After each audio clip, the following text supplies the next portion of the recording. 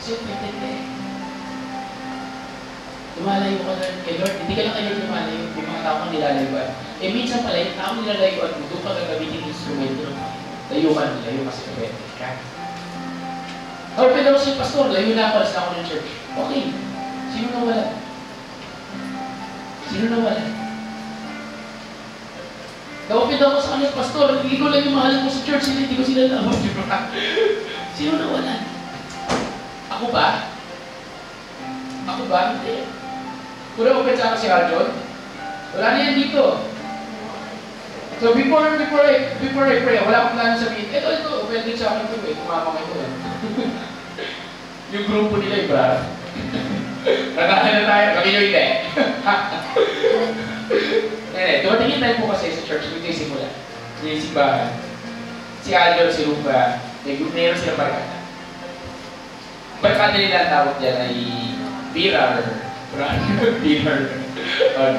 Okay.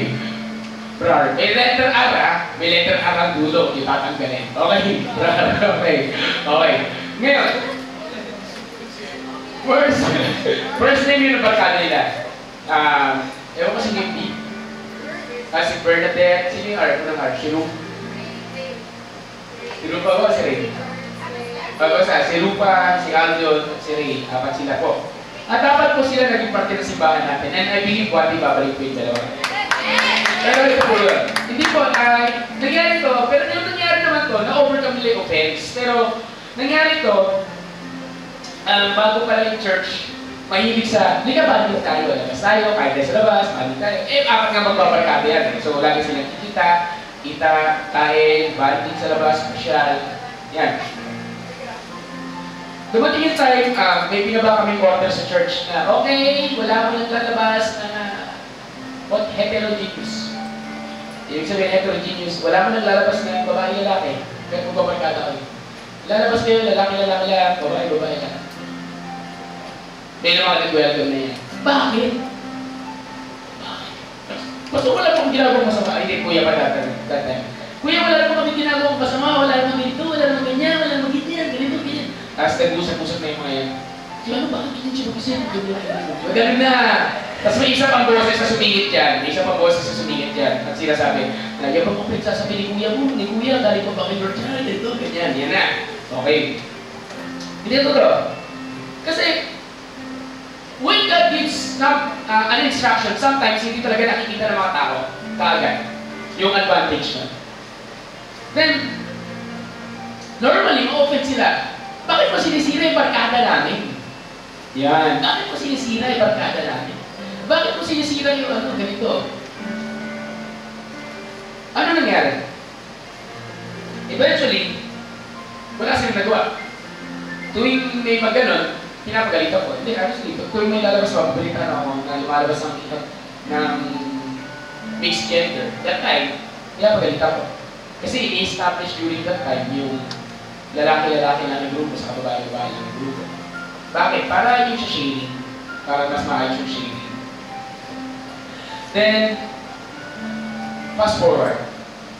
Naipon ng naipon, naipon ng naipon yung offense itong mamang ito sa akin. Kala ko hindi ko alam ha. Saya, na, naipon ng naipon. Hindi naman niya sinasabi sa akin, Pastor sa Hindi niya nga pinapakita sa akin eh. Hindi niya sinasabi sa akin, hindi niya pinapakita sa akin, hindi niya pinaparamdam. Kaya mas nakakatakot. Kasi hindi mo alam. Hindi, hindi. Kasi hindi mo alam na galit ang tao sa iyo. Kasi hindi mo alam may sama ng loob yung tao sa iyo. Kasi walang symptoms eh. Walang sign. Bukod sa PC. Pero may iba na pala pinaplano. Di ba? At isa sa plano niya, ito. Alis sa simbahan. Alis sa simbahan. Literal. So, dumating yung time, kinausap ko siya sa Starbucks. Yan, kinausap ko sa Starbucks. At sabi ko sa kanya, bro, ano kita eh? Simula tayo ng church, ganito, ganito, ganito, ganito. Sasabi ko sa kanya, um, ano kita eh, parang anak kita. Bilang pastor o tatay ng simbahan na nagsisimula parang anak kita. Yun sabi ko sa kanya. Tapos sinabihan siya ni Kuya, yung kaibigan ko si Kuya Didi, sinabihan siya ko, bro gusto kita makita rin dito ah. That time, that time, that time. That was 2003. Kasi wala, nandun na yung utak niya eh, na alis na ako. 95% alis na ako. Hindi, actually, 99 yata eh, percent alis na ako. Kasi offended, naipon. Ang isang tao na nag-iipon ng offend, gagawa niya ng mga desisyon na hindi dapat igagawin sa buhay niya. Pag tumalis to sa church, alam niyo ba saan ito tatagpuin? Hindi ko alam. Pero alam ko lang, hindi maganda. Alam ko lang, hindi maganda. Pero guess what? He choose to stay. Amen ba? He choose to stay. Diba? Na, na, he choose to stay na, na, hey, mag- mag-stay ako. Kasi yung plano si sa akin dito and so on and so forth. And now, I tell you, he's one of the best leader dito sa church. Hindi na naman pa ba kayo kay Alan? Anong point nun? Kasi when you choose to stay, or it's not about the church, when you choose to let go of offense, ano man yung dahilan yan? God definitely will do something in your life. God will do something in your life. So choose to forgive. Diba? Choose to forgive, choose to let go. It's not easy, but it's choice. Can I invite everyone tayo na nila?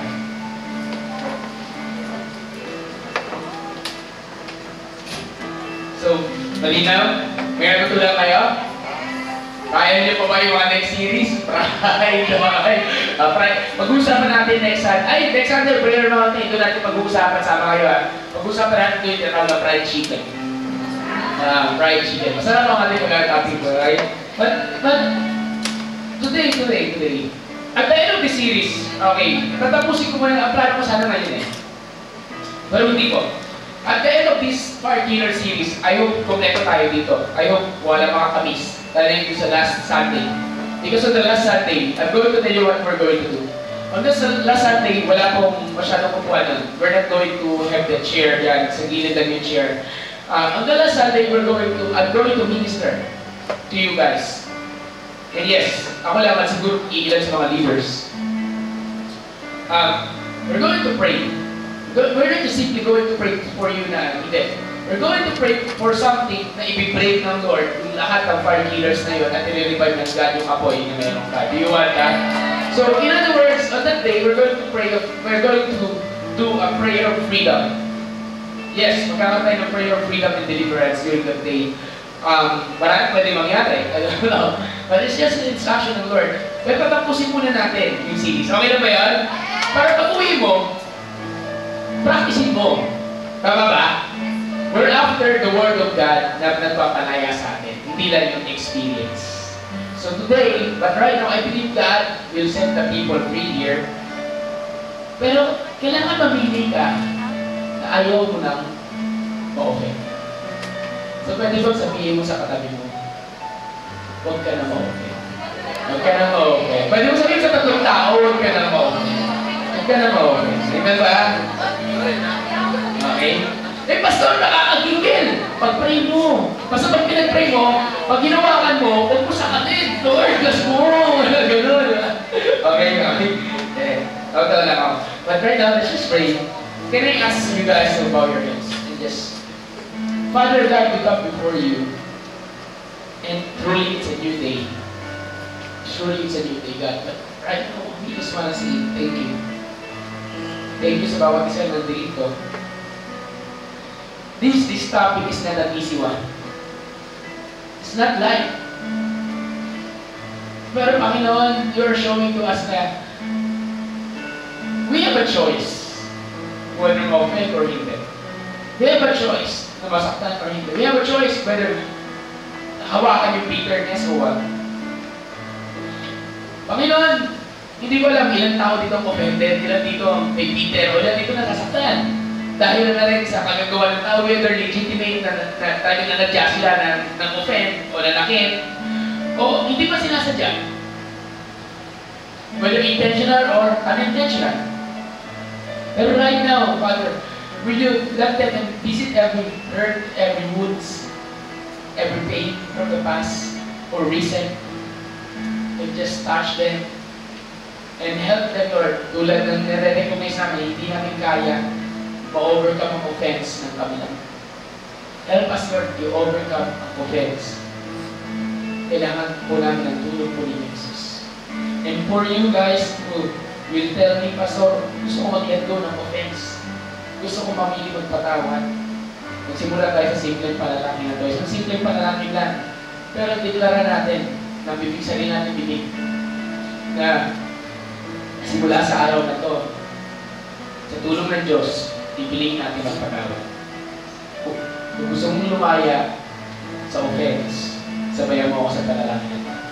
Panginoon, humihingi ako ng tawad kung na-offend man ako. O kung ako man ay na-offend. Humingi ako ng tawad, Lord. At pinipilit ko rin patawarin ang mga tao na nakasakit sa akin. Intentional man o hindi.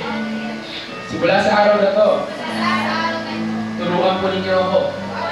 Nagdidesisyon ako na magpapatawad lagi. At Panginoon, anumang klase ng offense, hindi ko aayaan uh, maghahari sa puso ko. Ulitin natin. At Panginoon, anumang klase ng offense, hindi ko ahayaan maghahari sa puso ko.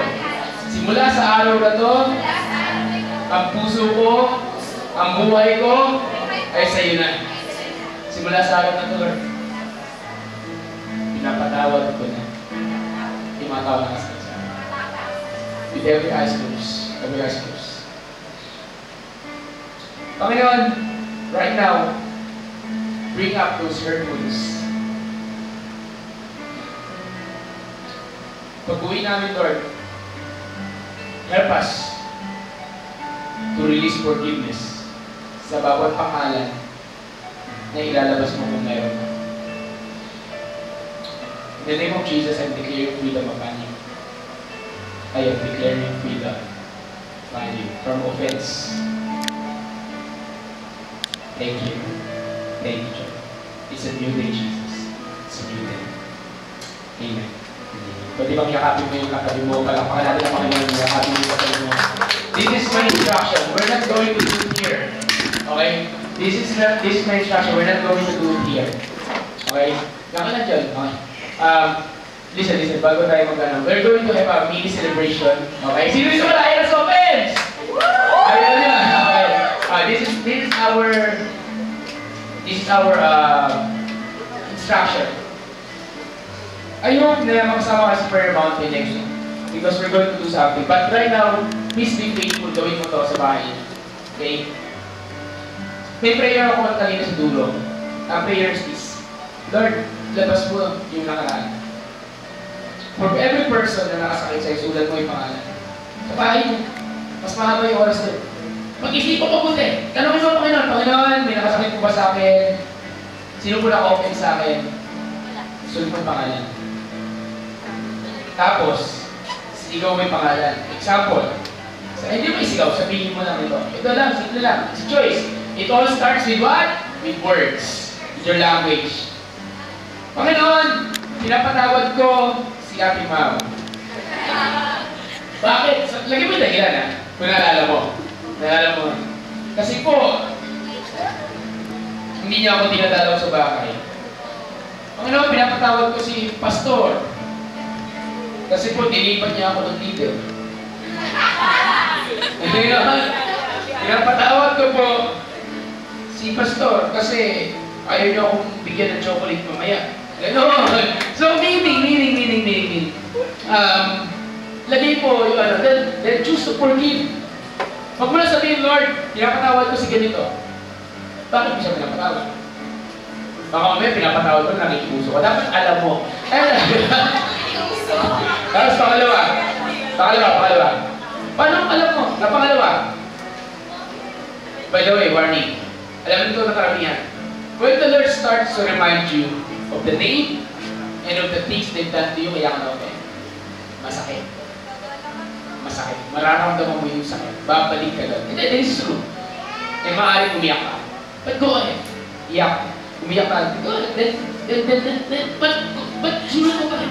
Sunod mo pa rin. Tapos, pagkatapos mo maisulat at sabihin, be honest ha, sabihin mo, tapos mo maisulat, make sure, either sunugin mo, punitin mo, i-flash mo, mo. ano ha? Baka may sinulat mo sa bahay yun lang, may makabasa nun, di ba? Di away pa. Okay? Lang mo sa church, yung buong church pala sinulat mo to, di ba? So, so nag-gets niya, malinaw mo ba? Okay? Bakit hindi natin dito gagawin? Kasi gusto ko po kayong bigyan ng privacy. So that you can talk longer kay Lord. Kasi alam ko, marami pang iba makita sa Panginoon. And He is ready to set you free. Amen ba? Amen, amen, amen. So sabihin mo sa katabi mo, gabi mo ha. Ah, gano'n ba? Gano'n